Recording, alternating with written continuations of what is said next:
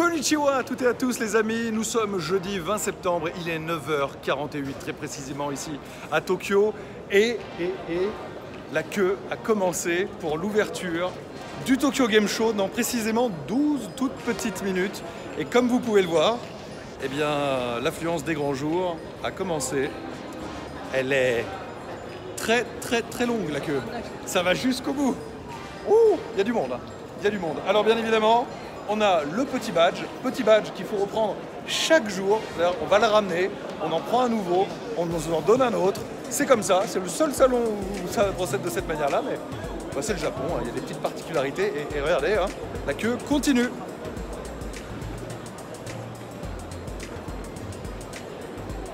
Que 10 petites minutes les amis avant l'ouverture du salon et vous allez vivre cela. Je vais vous faire des, du salon, mais en intégralité. On va découvrir les différents jeux, les attractions, toutes les informations qu'il vous faut pour vivre le TGS 2018 comme du pareil.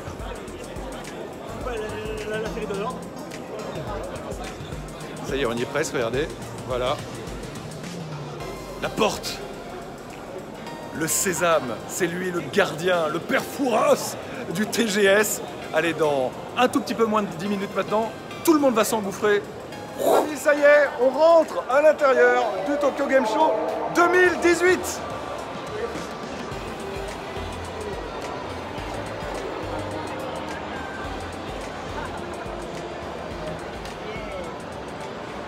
Ça y est, c'est ça, hein, le TGS. Vous êtes à l'intérieur. Ça fait tellement plaisir de le retrouver, ce bon vieux salon du Tokyo Game Show. Et là, tout de suite, vous voyez, très gros stand Sega.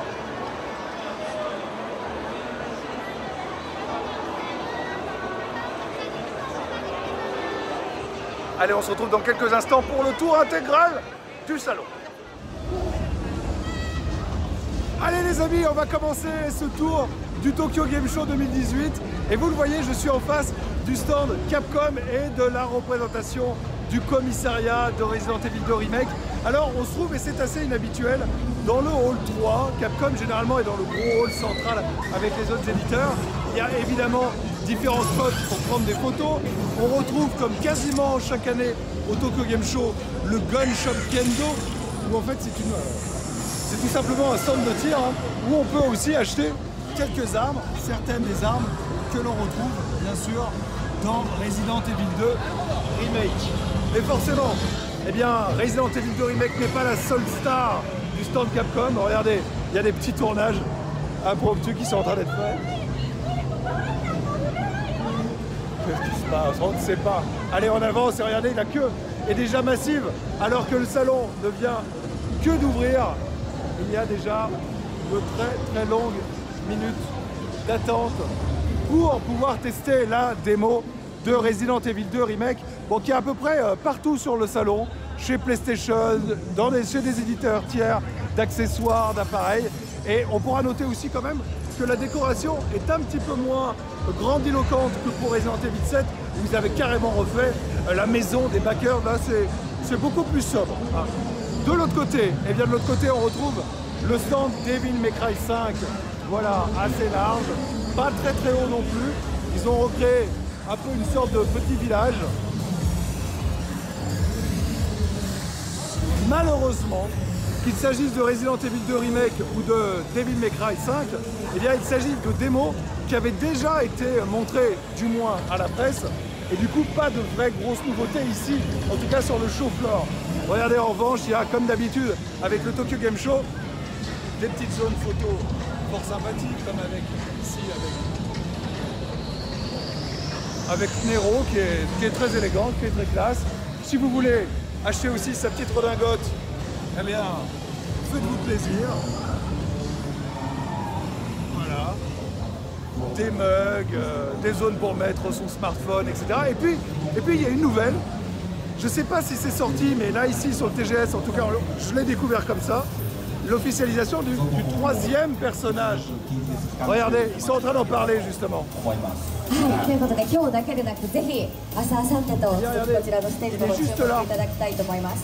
そして先ほども最新映像この東京ゲームショウで初出しとおっしゃっていただきましてもっとゆっくり見ていただきたいということだったんですがもうすでにご覧になってきた方は気になるキャラクターが出てるなってお気づきですか Voilà, on a 同じのキャラクターが出てると思います。皆 Ils さ sont ん tout 気 simplement に en なって train ると思いますの d'en で、 parler. こちら Allez, の on 方 continue ご覧 notre ください tour de stand et le salon globalement. Vous allez voir, on est parti pour, euh, pour un bon moment euh, ensemble. Euh, alors, ce que je peux vous dire, c'est que globalement, le salon est plus ramassé encore que les autres années. Euh, les trois halls sont remplis, mais par beaucoup de plus petits éditeurs, etc. Et donc, au-delà du stand Capcom, qui est le plus gros de ce hall 3, eh bien, on peut retrouver beaucoup de constructeurs. Là, il y a Omen de HP, par exemple. Là, ici, on a de la Neo Geo. Là, il y a les stands, le stand allemand, par exemple, donc des jeux indépendants allemands. Il y a l'énorme, énorme stand PUBG. Alors, honnêtement, c'est assez impressionnant parce qu'il est vraiment, vraiment balèze. Alors, regardez, hein, il fait toute, toute une zone entière. Mais comme vous êtes en train de vous en rendre compte, depuis ce matin, il y a à peu près personne. Tout à l'heure, la nana, elle faisait son speech devant deux, trois personnes. Voilà. C'est tout vide. Et devant, euh, il n'y a pas grand monde non plus. hein. Donc pour l'instant, c'est très calme. Alors après, c'est encore des journées presse ouvertes uniquement aux professionnels. Ça devrait se remplir à partir de samedi et dimanche le week-end. Ici, le stand où on peut découvrir Earth Defense Force et regardez l'espèce de Godzilla complètement euh, ouf et incroyable. Et alors, ce qui est cool, c'est qu'à certains moments, il crache véritablement de la fumée. Je sais pas si on va avoir la chance là, en live, qu'il nous le fasse. Attends, si je fais ça, ça marche pas. Je suis désolé. En tout cas, comme vous pouvez le voir, il est, euh, il est gros, il est, massif. Bon, après, le jeu en lui-même, euh, c'est du EDF, euh, somme toute, classique. Bon, bah, c'est à peu près tout pour ce hall.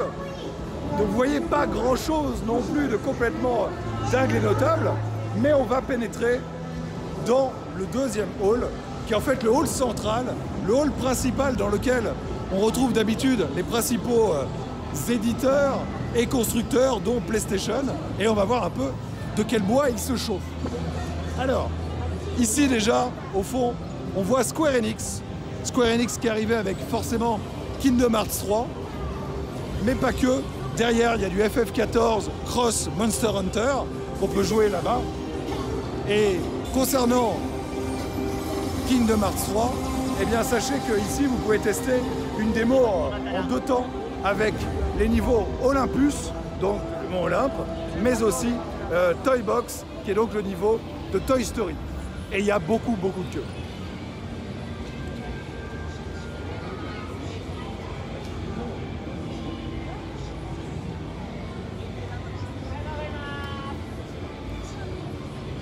Il y a déjà plus d'une heure et demie de queue alors que le salon vient à peine d'ouvrir ses portes. Il y a une toute petite attente pour Kingdom Hearts, hein, c'est indéniable. Voilà. Mais quand même, globalement, vous êtes en train de vous rendre compte que les stands sont beaucoup plus petits et pas beaucoup de déco quand même. Là, c'est tout des petits murs noirs avec quelques cadres photos. Venez voir quand même.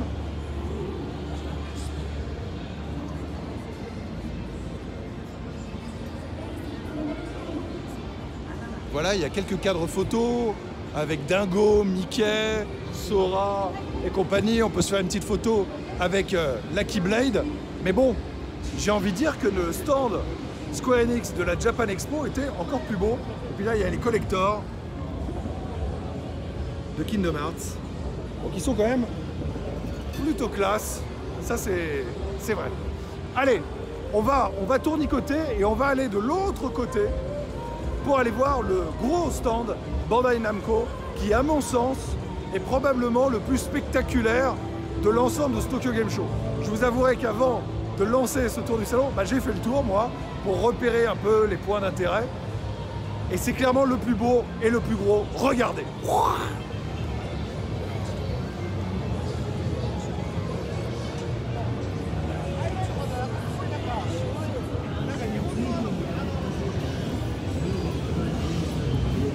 il y a une vraie volonté de faire de la scénographie, hein, avec euh, des murs de LED, des flammes, des écrans géants.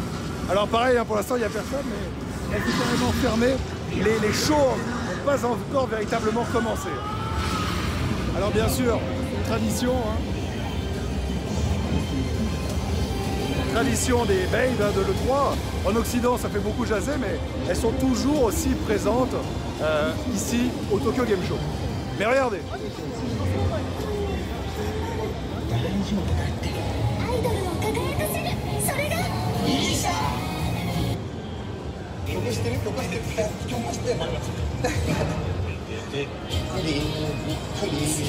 すごいだからもうすごいアイドル育てる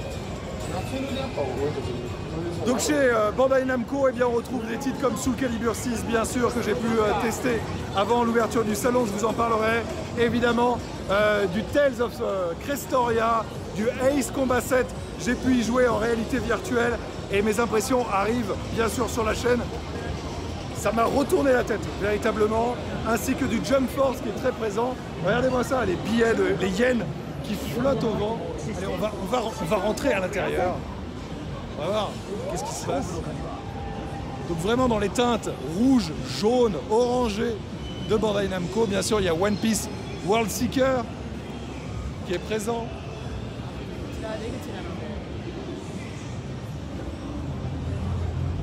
Voilà. Soul Calibur 6 donc, qui est présent ici.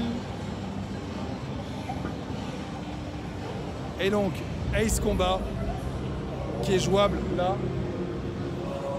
Et il est jouable en réalité virtuelle sur le centre de PlayStation, puisque vous le savez, l'option VR est exclusive au PS VR. Voilà. Donc ça, les choses sont dites, sont claires, sont nettes. N'oubliez pas que le jeu sort quand même sur Xbox One et sur PC légèrement après. Il y a une zone dédiée aussi eh bien, à la Nintendo Switch, qui a véritablement fait un carton mondial, mais très très très fortement au Japon, donc avec euh, les Dragon Ball Fighters et compagnie. Voilà, donc c'est vraiment l'un des plus gros, si ce n'est le plus gros stand de ce Tokyo Game Show. Vous allez voir par comparaison tout à l'heure, quand on va arriver du côté de, PlayStation, bah, PlayStation il est beaucoup plus petit. Et d'ailleurs il est bien plus petit que d'habitude. Allez, on avance.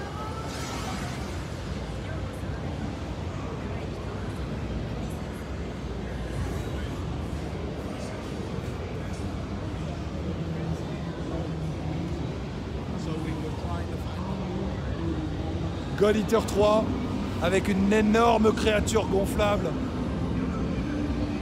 Super impressionnante. donc vous le voyez, hein, il y a des babes partout.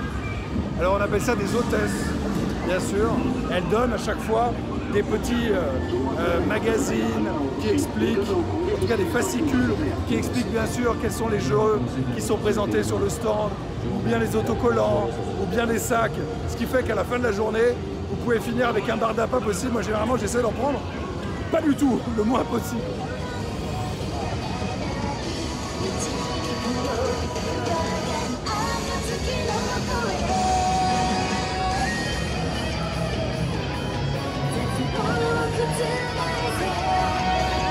Voilà, c'est bon enfant, les gens sont très détentes et comme ici là on est dans les, les moments presse, eh bien, il n'y a quand même pas encore trop trop de monde. Regardez devant moi, par exemple.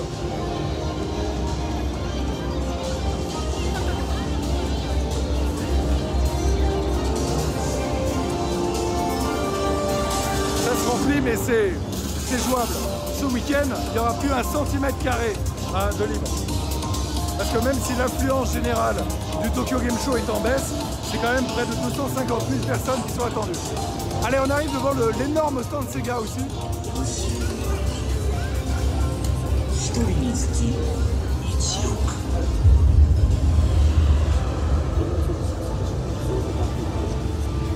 Et vous l'aurez compris, je fais la part belle à Judge Eyes, Project Judge, bien sûr, qui a été euh, dévoilé lors du PlayStation Line-Up Tour, avec beaucoup, beaucoup, beaucoup de bornes de jeux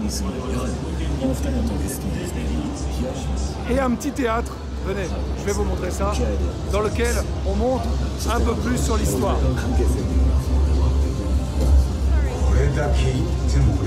Mais on n'a pas le droit de le filmer, alors on part. Ça, je peux vous assurer que réussir à filmer un écran, parce que moi je voulais vous montrer des éléments de gameplay, etc., de Sekiro et autres, c'est tout simplement impossible. On nous saute dessus, pourtant on prend des badges, on va donner les cartes euh, de visite pour pouvoir filmer dans des zones. Les photos ça passe, la vidéo c'est beaucoup plus chaud, c'est chaque année pareil, mais cette année encore plus a priori. Le stand Calab Games.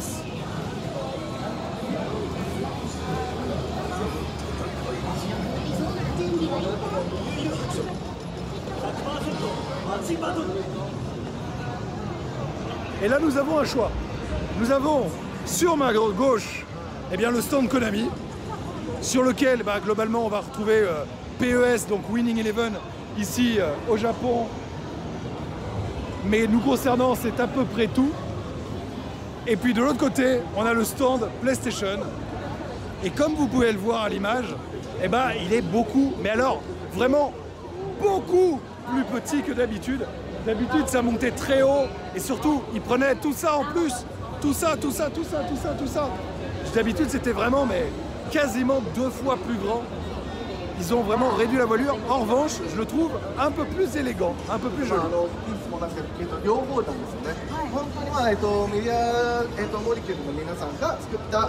Alors je sens que ce week-end, ça va être la cohue improbable ici.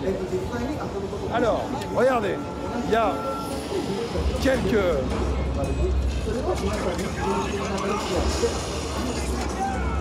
possibilités de se prendre en photo avec la moto de Gone. On a aussi bien sûr Death Stranding.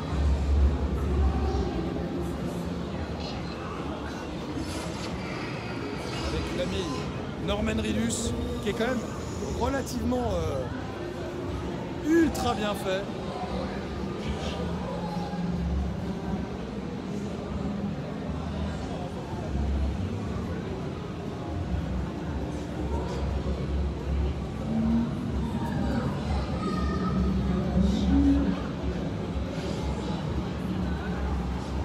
Bien fait, euh, l'ami euh, Norman Ridus.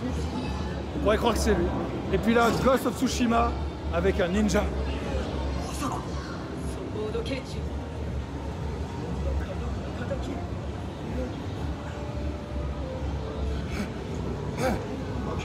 Oh, on va essayer de, se cacher vite, vite, vite, vite, vite, vite, vite.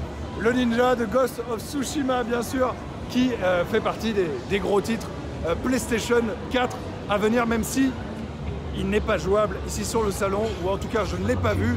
Évidemment, euh, vous pensez bien que si c'est le cas, j'y retournerai hein, pour vérifier. En revanche, il y a Sekiro.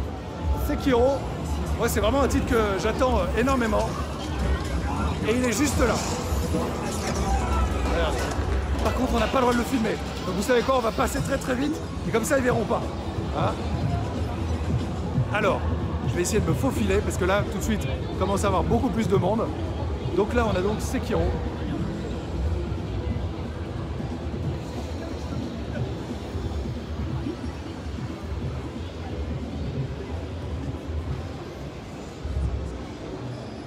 Voilà, donc c'est à peu près les seules images que je pourrais vous filmer. De l'autre côté, on a Dragon Quest Builder 2 qui est juste ici. Kingdom Hearts 3 eh que vous avez aussi sur le stand de Square Enix. Regardez la magnifique statue de Sekiro juste là. Très imposante.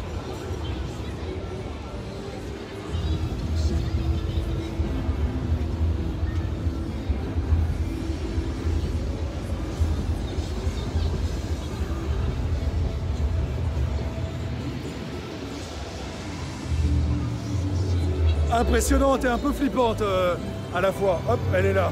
Voilà, le Sekiro.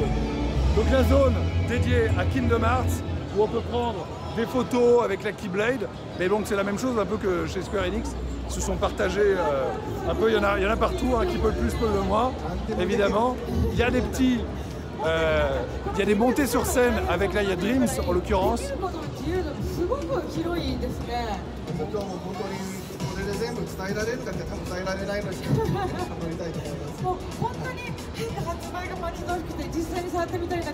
Mais alors même la scène là, elle est toute petite. Et vous l'avez vu, elle est, elle est vers le bas. Et du coup bah, c'est beaucoup plus difficile euh, de pouvoir la, voir vraiment euh, quand ça va être blindé ce week-end, je sais pas comment ils vont faire. Et là regardez, la PlayStation, alors l'original de 94 et, et, et, et, et la nouvelle, la classique, toute petite. Quand même, vous pouvez voir la différence, c'est ultra notable.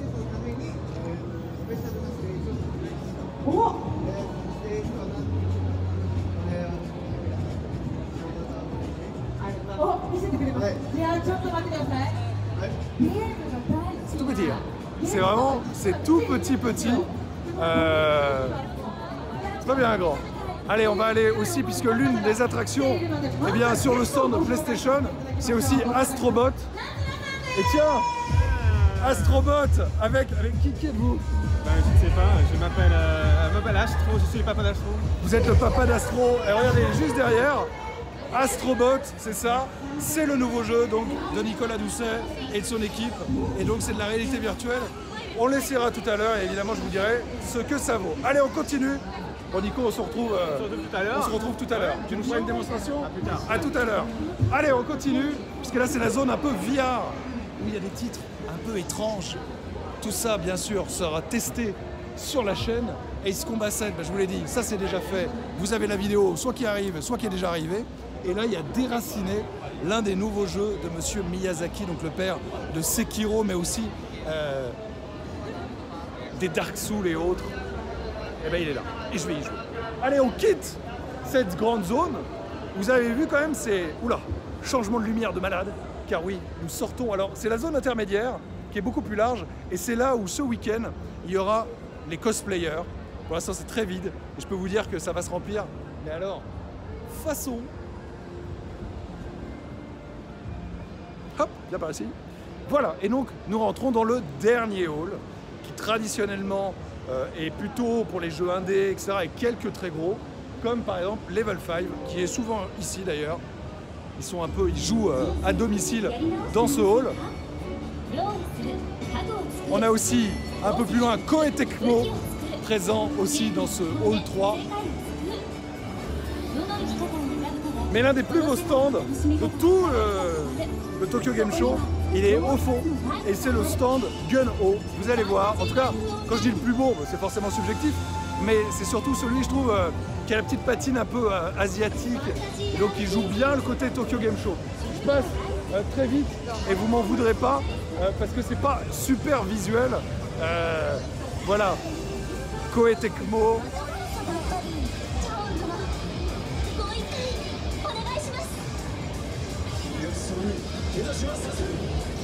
Et donc, on arrive sur le stand de Gun Ho, où vous voyez, ils ont mis euh, un petit arbre et surtout une espèce de petite décoration japonaise, un peu stylée.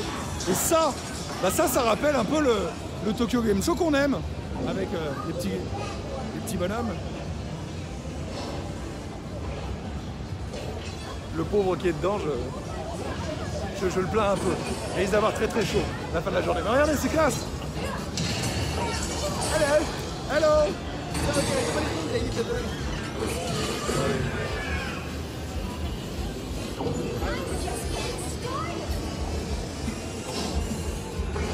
Voilà, il y, a des démonstrations au katana, mais là en l'occurrence c'est Ninjala.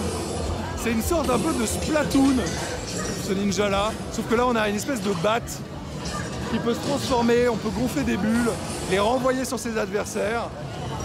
Bah écoutez, euh, c'est coloré et ça a l'air assez funky. Voilà, donc vous voyez le stand reprend un peu, ça fait un peu Kyoto Hit.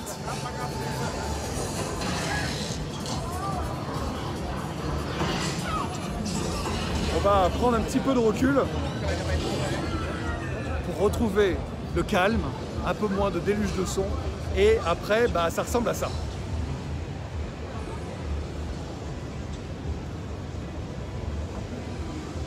Voilà, c'est donc des allées et des allées entières avec plein de jeux indépendants, des écoles de jeux vidéo, de développement, de high-tech, des projets, certains qui n'aboutiront jamais, d'autres qui seront modestes, d'autres absolument géniaux. Voilà, on retrouve à peu près de tout.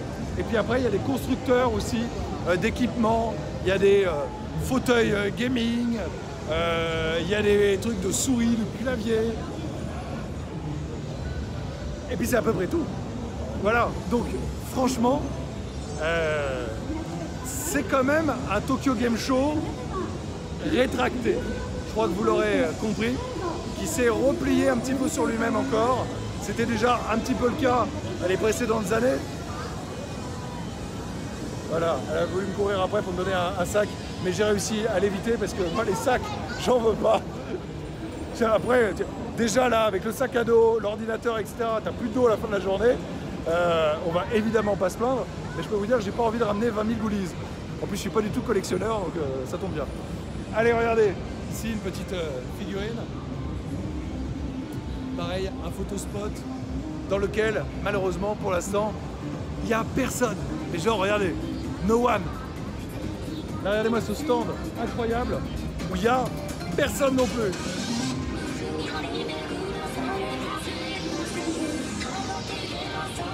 Alors je ne doute pas que ça se remplisse bientôt. Hein.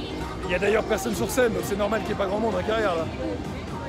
Mais quand même, en tout cas vous aurez vu, il y a beaucoup de stands sont un peu vidos en ce début, en ce lancement, en cette ouverture de Tokyo Game Show. Euh, je vous dirai, sans embâge et sans détour, si ça s'est rempli au fur et à mesure des journées et des moments euh, de la journée, bien sûr. Coucou Elles sont sympas. Euh, voilà, en tout cas, c'était le tour du salon du Tokyo Game Show 2018. Bah vous, dans les commentaires, vous allez me dire un peu bah, quel est le stand qui vous a le plus intrigué, marqué, que vous avez trouvé le plus classement euh, orné? Voilà, et puis on se retrouve évidemment très très bientôt sur la chaîne parce qu'il va y avoir quand même plein de vidéos. Je vais jouer un max de jeux, vous ramener un maximum d'informations et puis, et puis c'est tout pour moi. Voilà, et ben si ça vous a plu, n'hésitez pas à vous abonner si vous avez découvert la chaîne. Et puis pour les autres, il y a d'autres vidéos qui vous attendent. Allez, on se retrouve très très vite au Tokyo Game Show 2018. Ciao